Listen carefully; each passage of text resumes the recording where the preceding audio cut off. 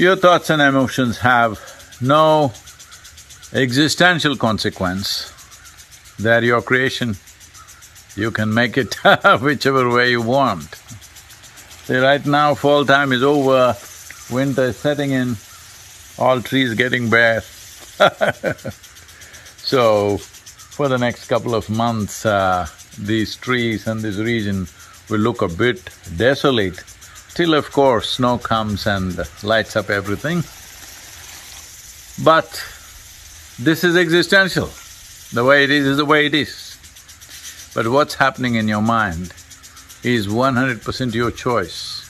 Your thoughts, your emotions must be by choice. If it was by choice, how beautiful a human being you would be. If you had a choice between being blissful and miserable, I know what's your choice. If you had a choice between being loving and nasty, I know what is your choice. Let's choose, let's make it happen. That everything that happens within you is by choice. What happens around you? It's the world, it's the nature, it's the creation.